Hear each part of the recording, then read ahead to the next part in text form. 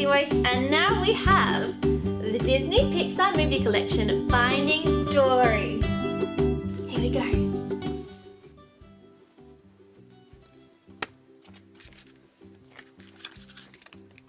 Dory was a little blue tang.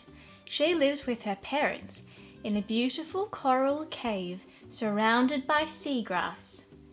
From a very young age, Dory had trouble remembering things.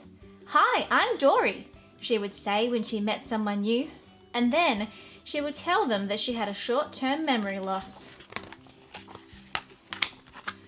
Dory's parents worried about their forgetful daughter and did everything they could to stop her from getting lost.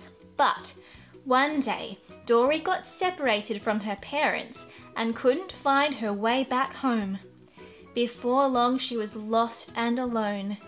It was getting dark, so Dory swam under a rock and tried to sleep. Just keep swimming, just keep swimming, she sang quietly to herself as she closed her eyes. Dory just kept on swimming and swimming, getting further and further away from her home. The time passed and Dory grew up but she still asked every fish she met if they had seen her parents. None of them had. Hi, I've lost my family, Dory would say. Can you help me? Where did you see them last? The fish would ask. Well, uh, funny story, but, uh, I forgot.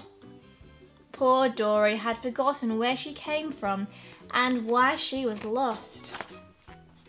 One day, while Dory was swimming along, she looked up and saw a boat speed by. Just then, she swam headfirst into a clownfish who was yelling something about his son, Nemo. They took him away, the clownfish cried. I have to find the boat. A boat? said Dory. I've seen a boat. Dory and the clownfish, whose name was Marlin, swam off towards the boat in search of Nemo. One year later, long after Marlin and Dory had brought Nemo back, the three friends still lived together on the coral reef. They had a happy and colourful home and had lots of fun together. Sometimes Dory would swim away on her own, so Marlin and Nemo had to keep a close eye on her. Dory was very happy and had forgotten to ask for help to find her parents. Marlin and Nemo were all the family she needed.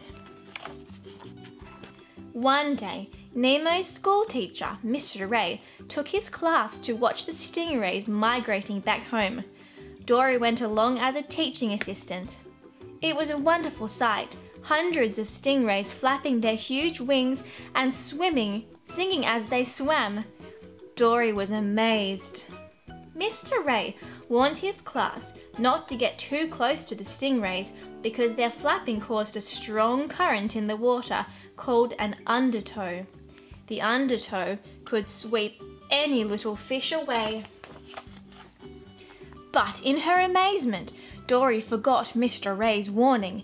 She swam too close to the stingrays and before anybody could help, she was swept away in the undertow. Dory's world spun around her and then faded to black. When Dory opened her eyes, Nemo, Mr. Ray and the students were peering down at her. Mr. Ray told the children to give Dory some room.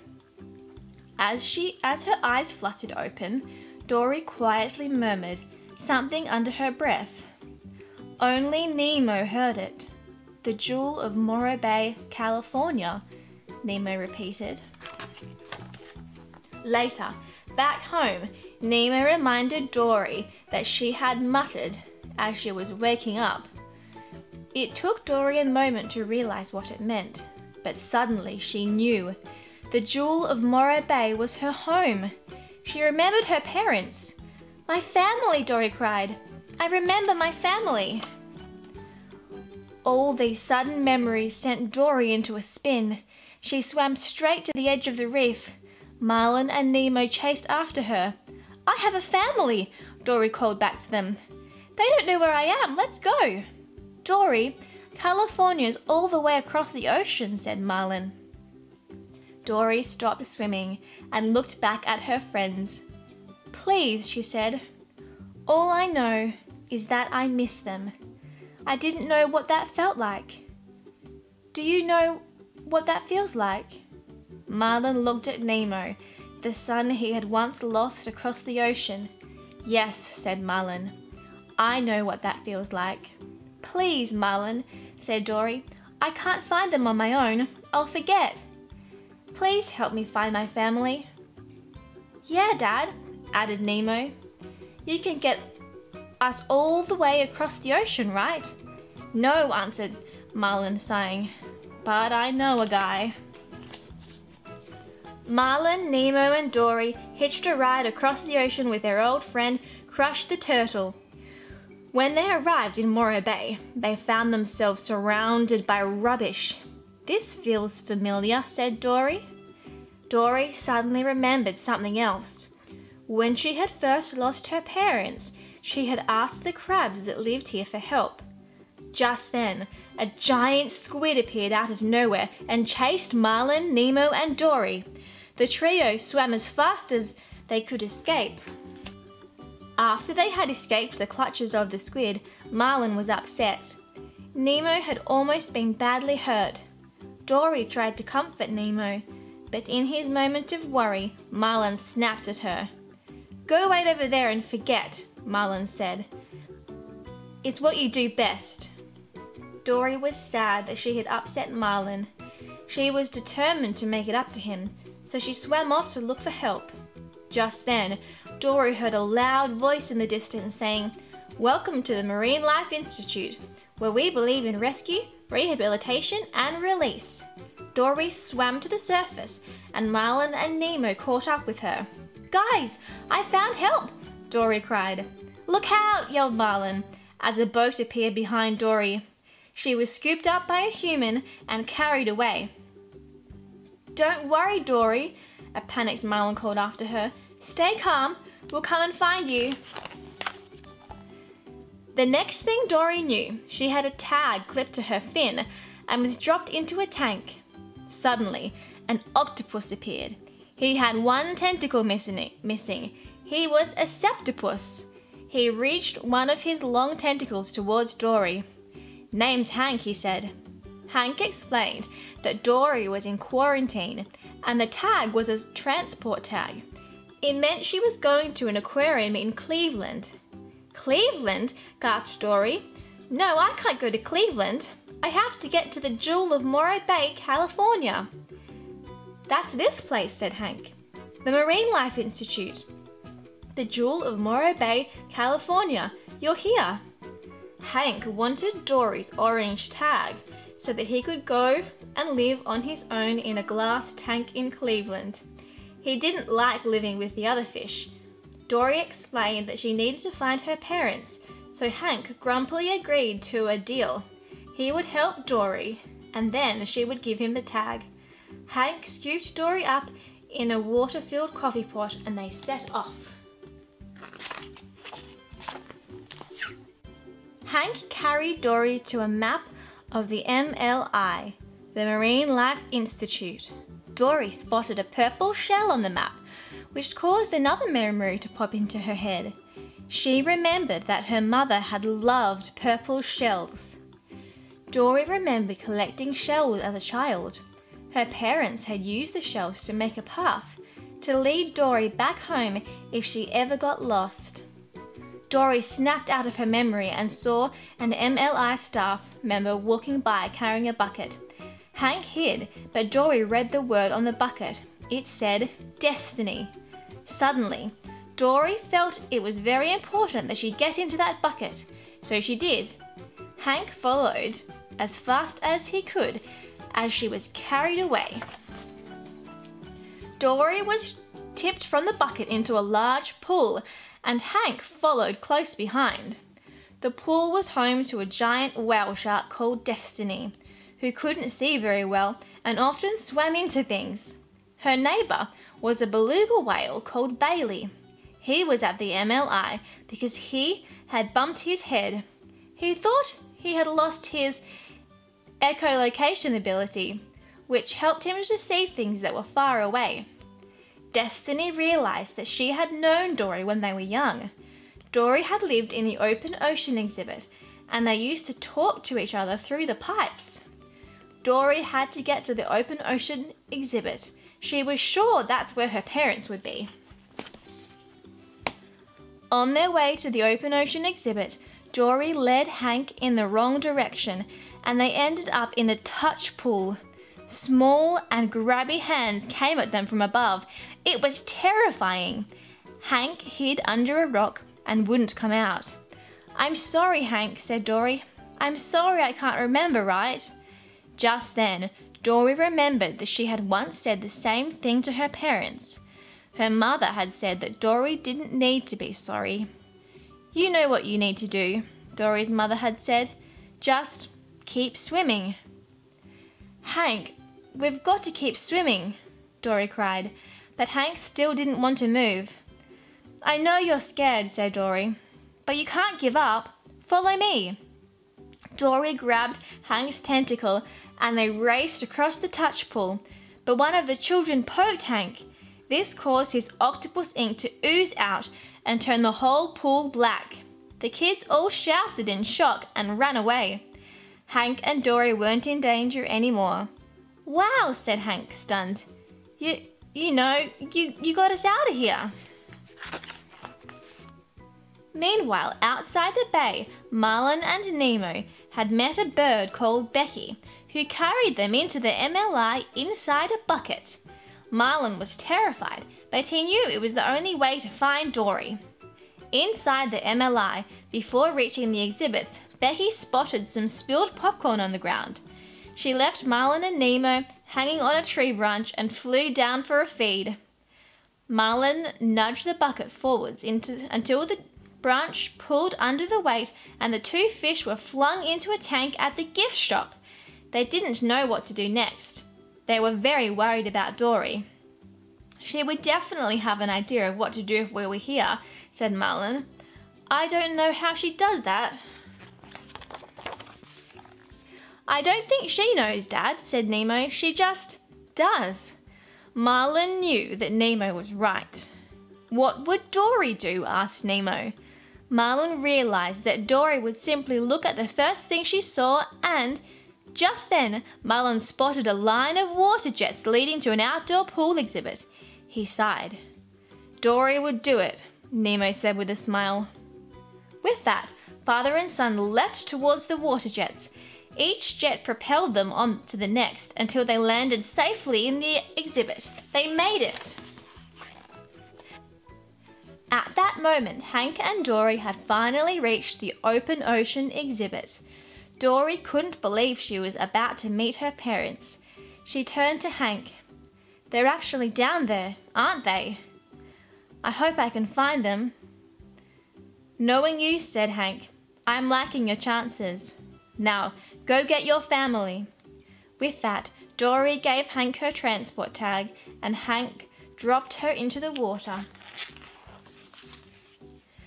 Dory swam down through the clear, cool tank. At the bottom, she spotted a trail of seashells, just like the ones she remembered from her childhood. This was her home. Just then, Dory saw a purple shell near the entrance to a pipe. She remembered that her parents had warned her not to go near the pipe, as the strong undertow could carry her away. Dory remembered with a shock that she had tried to collect this purple shell for her mother and been sucked into the pipe. It was my fault, Dory whispered. My parents. I lost them. Dory didn't know what to do next.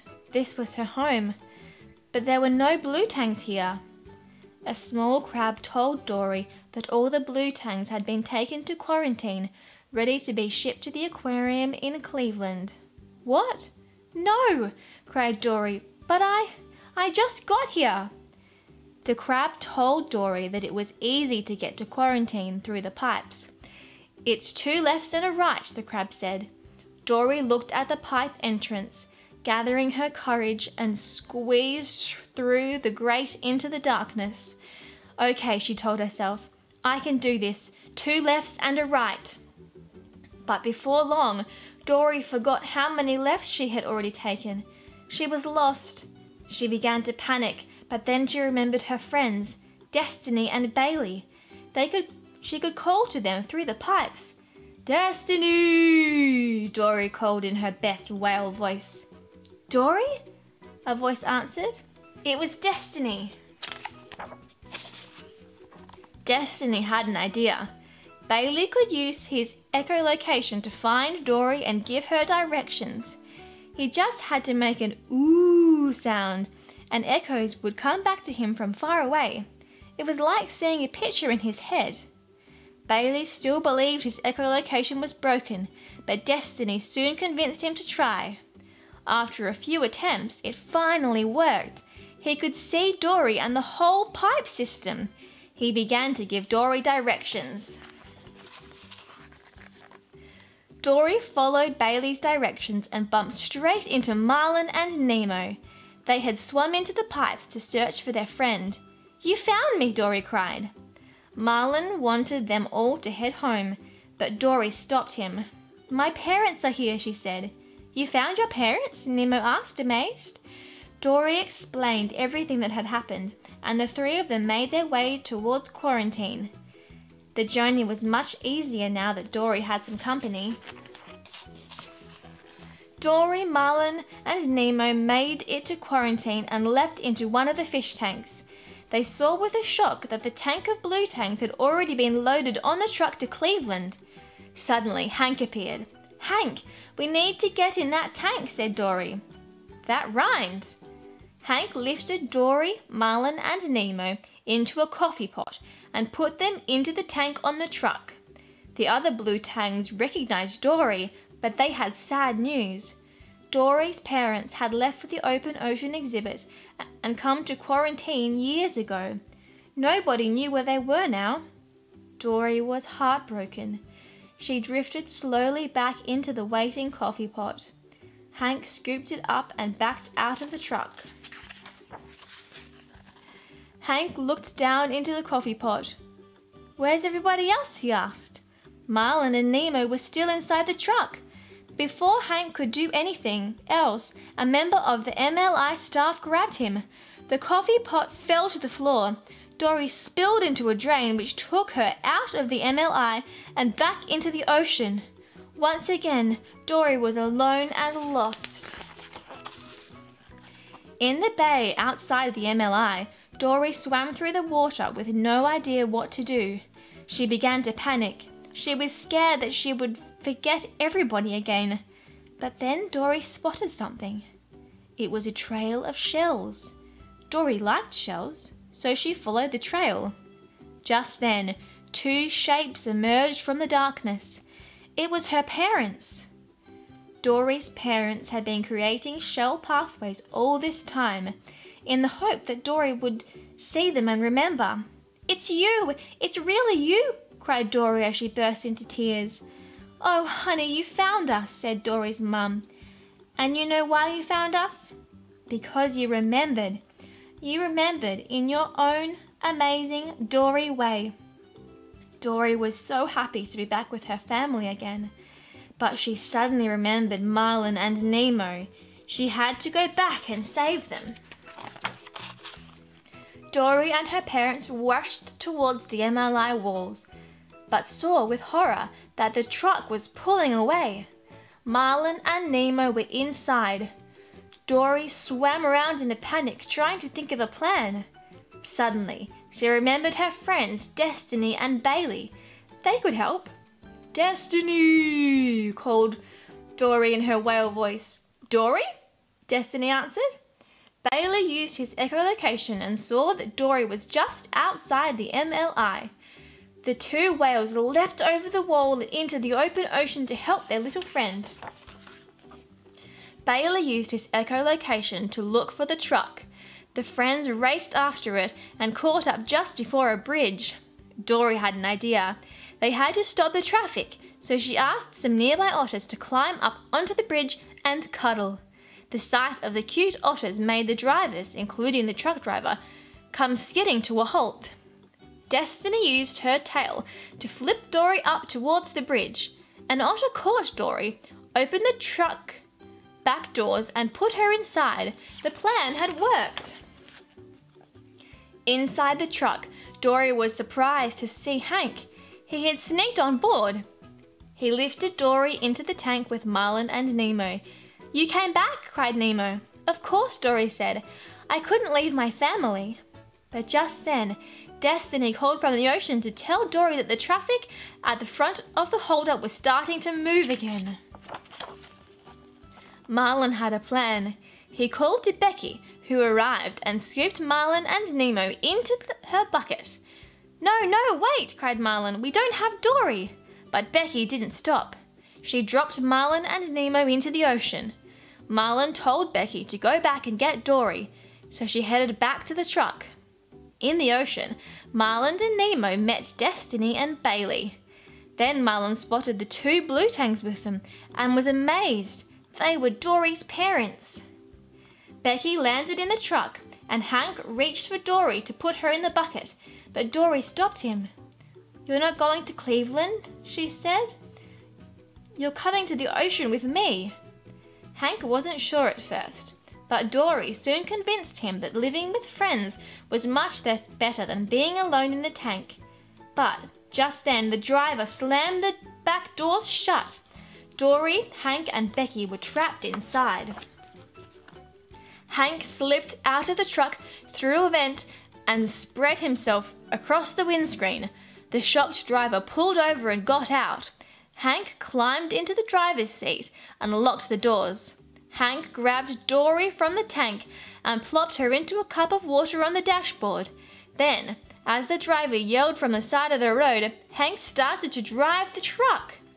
Hank, said Dory, I'm going to ask you to do something crazy. Hank smiled. He knew what to do. Back in the water, Dory's family watched as Hank drove the truck off the bridge and into the ocean. The doors flew open and all the fish spilled out into the waves. They were free. Marlin, Nemo, and Dory headed back home across the ocean, and they took all their new family and friends with them.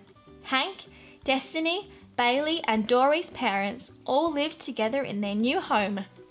Dory was happier than she had ever been. She could now swim off on her own sometimes because she always remembered how to get back to her huge family. I'll see you in a while, guys, Dory said one day. I've got something I want to do. But Marlin still worried that Dory would get lost, so he followed her. He stayed a good distance behind so that Dory wouldn't see him. He watched as she swam to the edge of the reef and looked out at the ocean. Hey, Marlin, said Dory. She somehow knew he was there. Oh, said Marlin. Hello, Dory. Marlin joined Dory and they gazed out into the blue. Wow, it really is quite a view, said Marlin. Yep, said Dory. So is this one, Marlin said as he turned round and saw that everyone else had followed Dory too. Dory looked back at her whole family and smiled. Unforgettable, she said. Wow, Dory is such a cool fish. Well, thanks for watching everyone. You can hit like and subscribe for more videos. See you next time.